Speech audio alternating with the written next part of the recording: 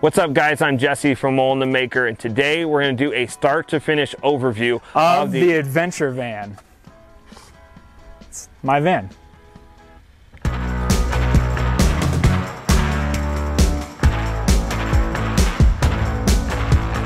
What's up guys? I'm Sam. I'm usually the person behind the camera or behind the computer for Jesse, but since this is my van, I'm gonna go over it with you. So unlike Jesse, we don't have kids yet, so it's just me, my wife, and my dog, and it makes it a little easier to travel around and go camping and all that kind of stuff. So we wanted to keep it simple and we went with this Econoline van.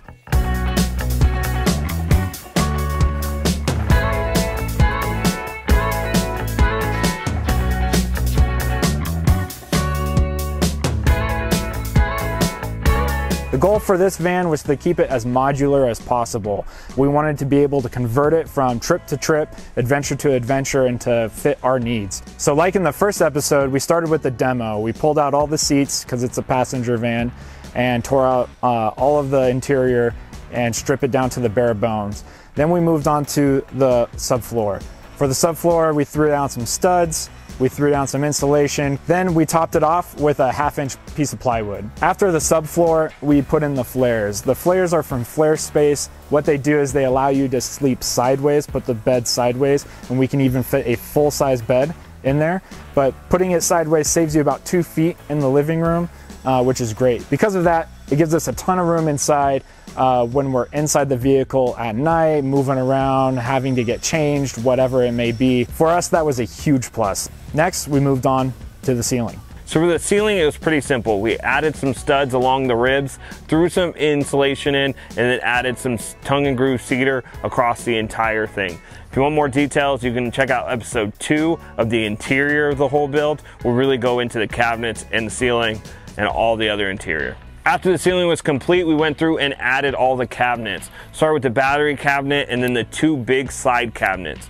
Now these were pretty simple. We used some pocket holes, screws, and Brad nailed a bunch of plywood and faced it all that way. We rounded the doors to add some character, added some paint, they turned out really nice. So after that, we added some swivel seats. Now these swivel seats add about three feet of usable space while you're camping. Before the seats were all turned around, you can never sit in them while you're camping. Now this actually adds more of a living room feel as you can turn the seats so you can talk to everybody and not just have to be in the bed or sitting on the ground, something like that. So next we added the flooring. With the flooring, we wanted to stay with the modularity idea.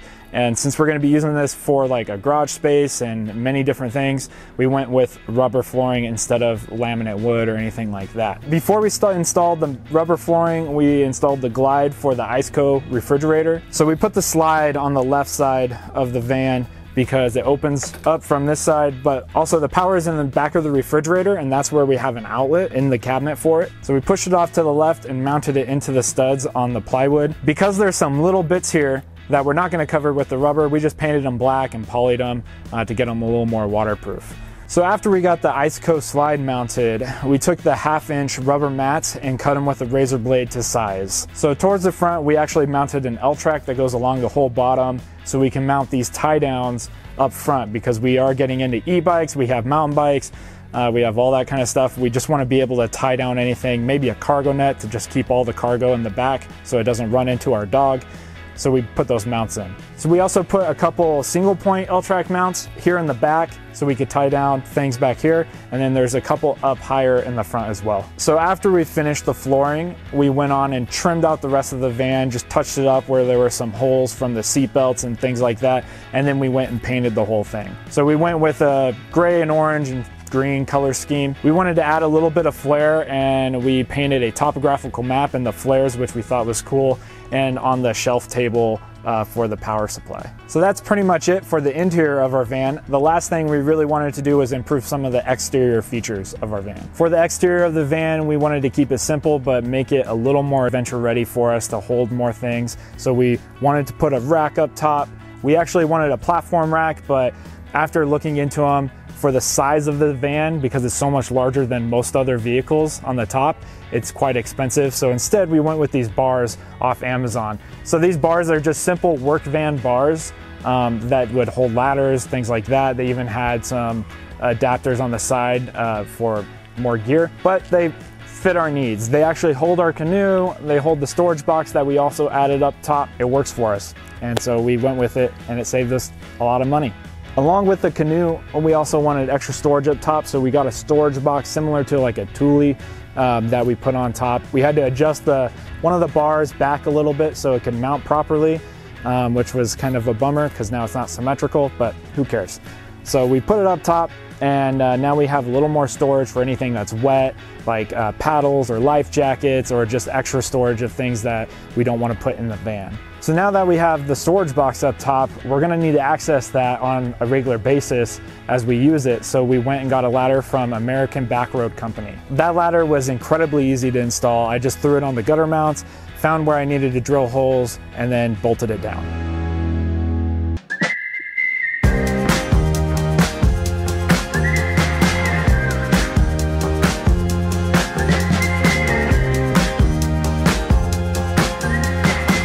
We also added a light bar on the front bumper. There is a huge gap in the front bumper and some people put winches there.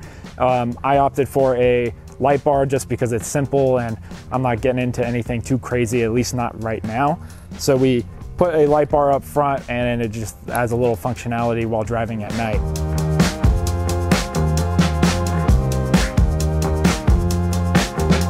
Final thing I did was I took off the granny steps.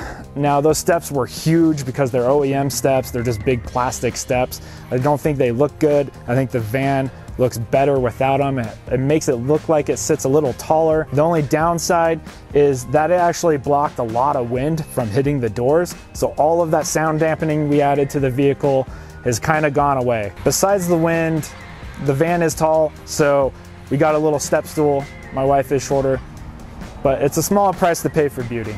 So overall, this was a really fun build. Uh, some of our favorite things in the build is the power supply. For me, I think the SeeDevil, which is the power unit that we decided to put in, works fantastic. You can charge it three different ways. We put a shore power on the outside so we can just plug an extension cord right in. You can charge it that way through the alternator or through a solar panel. The 2000 watts, it lasts a long time charging the fridge, charging our drones, GoPros, things like that overall, it's a really good feature to have. Another great feature of the van is the dual zone IceCo fridge. This fridge is amazing. You can set up each zone as its own temperature. So short trips, we just put both zones into refrigerator. Long trips, we make one a freezer, one a refrigerator. So when it's getting to temp, it pulls about 60 watts, but once it's at temp, it only pulls a two watt from our power station.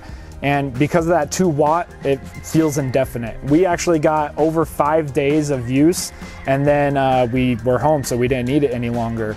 So it definitely lasts a long time uh, with the right temperature outside. If it's hot, it'll shrink it down a bit, but the ice IceCo is just amazing. My other favorite feature is the flooring. Doing the rubber flooring, the half inch rubber, it turned out really nice. It's durable, easy to clean. You can take them out and just wash them off if they get that muddy.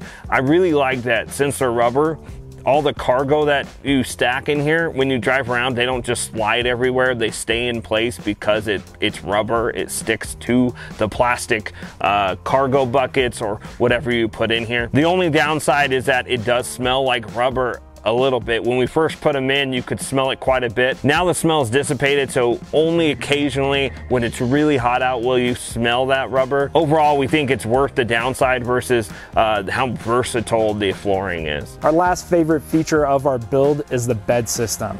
The bed system's amazing. It's so easy to deploy with the IKEA slats and the bungee board on top and the folding mattress. It was just very simple being able to sit it sideways with the flares helped so much and we can deploy it, leave it up while we drive and it all stays in one position and it doesn't shift at all. So some updates we'd like to do that we haven't gotten to yet and that just really weren't in the budget.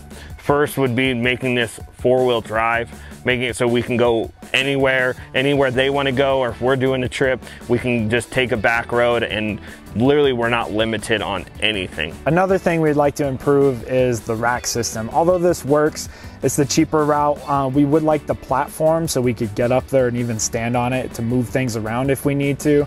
Those platform racks just seem to work so much better for the overlanding style uh, adventures and so that's something we would definitely like to get into. On top of that rack we'd like to put in a solar panel that way we can charge the solar power generator all the time. We've already tested it with our fold out solar panel. When it's hooked up, it, the fridge will run indefinitely. So that's something we'd like to add to. Well, thanks for watching, guys. For more details, go check out episodes one and two of the van build.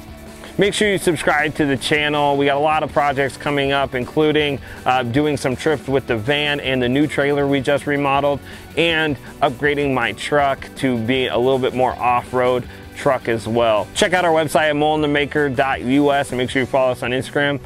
We'll see you guys next time.